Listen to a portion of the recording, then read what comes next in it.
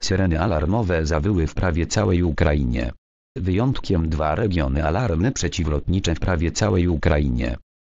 Z informacji portalu Chromacke, który opublikował mapę zagrożonych regionów wynika, że w niemal wszystkich obwodach Ukrainy ogłoszono w poniedziałek rano alarmy przeciwlotnicze. Po godzina 9 podano, że w większości kraju alarmy ucichły. Syreny słychać jeszcze w obwodzie donieckim i Ługańsku. Syreny alarmowe zabrzmiały wszędzie z wyjątkiem obwodów hersońskiego na południu kraju oraz donieckiego na wschodzie, podał portal Suspilne.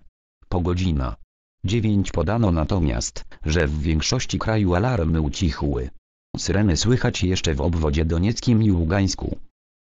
Również w niedzielę wieczorem ogłoszono alarmy przeciwlotnicze w niemal całym kraju, z wyjątkiem obwodu hersońskiego w pobliżu Krymu.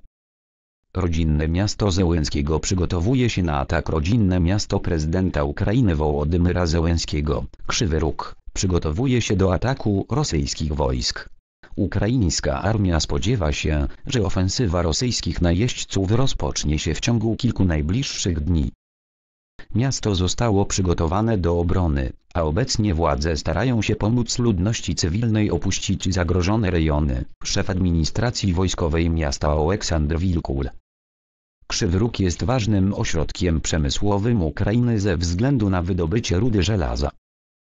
Miasto jest położone na północ od Hersonia, który był pierwszym dużym miastem zajętym przez wojska rosyjskie na początku wojny.